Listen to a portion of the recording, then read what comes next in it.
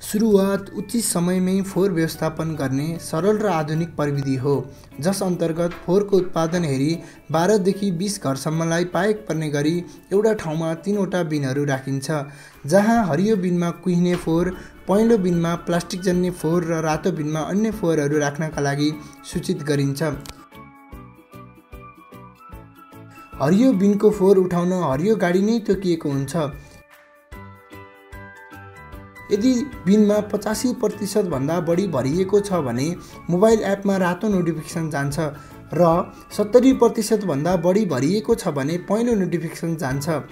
रातो नोटिफिकेसन आएको बिनको वरिपरि कुनै पहेँलो नोटिफिकेसन आएको बिनहरू छन् भने एकैपटकमा ती सबै बिनहरूको फोहोर उठाइन्छ। त्यसरी नै पहेँलो बिनको फोहोर उठाउन पहेँलो गाडी र रातो बिनको फो फोहोर उठाउन रातो गाडी नै प्रयोग गरिन्छ। बिनमा कति फोहोर भरिएको हो र त्यो बिनको फोहोर जुन गाडीले उठाउने हो त्यस गाडीको ड्राइभरको मोबाइलमा एपको माध्यमबाट नोटिफिकेसन पठाइन्छ।